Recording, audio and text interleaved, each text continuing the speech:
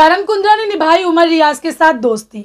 Big boss के घर में एक बड़ा ही इमोशनल टास्क चल रहा है। ये टास्क कैप्टेंसी का है, जहाँ पर दो दावेदार हैं।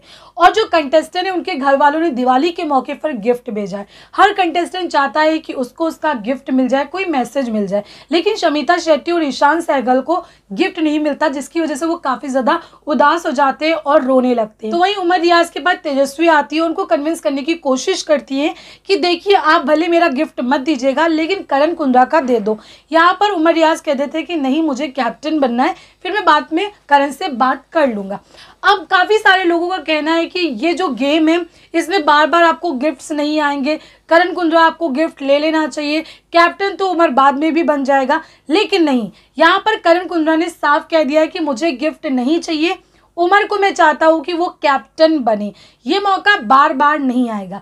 जी हाँ करण कुंद्रा ने अपना गिफ्ट लेने से मना कर दिया है। बार बार उमर रियाज कहते हैं कि नहीं, तुझे गिफ्ट ले लेना चाहिए। यहाँ पर एक कन्वर्सेशन होता है कि तेरी घर वालों से काफ़ी टाइम से बात नहीं हुई है। तो यहाँ पर करण कुंद्रा कहते हैं कि ये तो मैंने छः छः महीने बात नहीं की है। ये तो चार महीने की बात है, कोई बात नहीं। तू यहाँ पर कैप्टन बन और ये मौका बार बार नहीं मिलता है। कई सारे लोगों ने समझाने की कोशिश की करण को और उमर को, लेकिन यहाँ पर करण और उमर नहीं माने, खास करके करण ने इस वक्त उमर के साथ अपनी दोस्ती को निभाया। तो दोस्तों कमेंट करके बताइए इस पर आपका क्या कहना है। बिग बॉस से जुड़ी लेटेस्ट अपडेट के लिए आप मेरे चैनल को सब्सक्राइब ज़रूर करें। Thank you